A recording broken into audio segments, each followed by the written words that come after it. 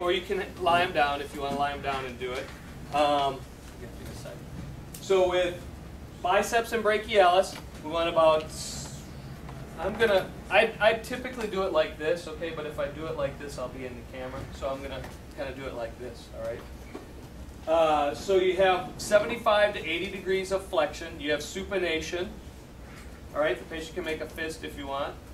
You're stabilizing or fixating at the posterior elbow. She can hold that position, so I know she has a three, all right?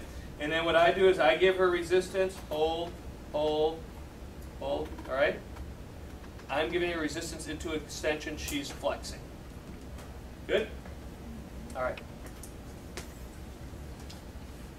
Okay, brachioradialis.